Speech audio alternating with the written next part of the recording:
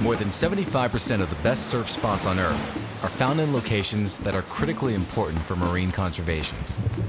These are places that we love for their biodiversity, natural beauty, and unique cultures. Sadly, these locations are facing serious threats from climate change, pollution, and overdevelopment. But there is hope. In tune with the ocean and motivated to defend it, there are 34 million surfers globally that want to see these special places protected. The potential is huge, so Conservation International and Save the Waves Coalition are partnering with surfing communities around the planet to pioneer an innovative model of conservation called Surf Protected Areas.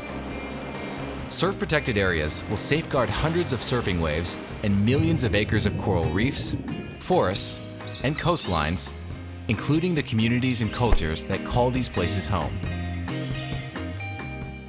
The first surf protected area is a remote island in Indonesia that has a vibrant traditional surf culture. Plans for massive tourism development are bringing rapid change to this untouched place.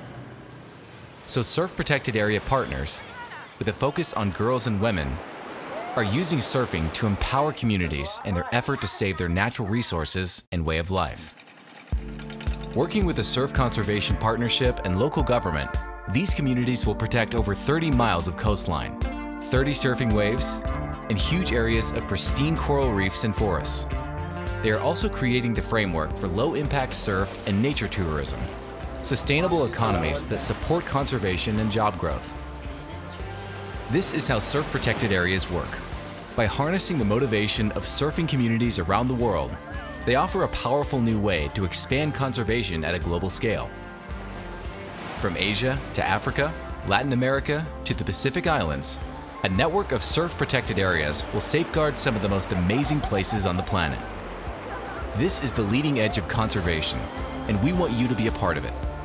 Help save the places we love by joining the Surf Conservation Partnership today.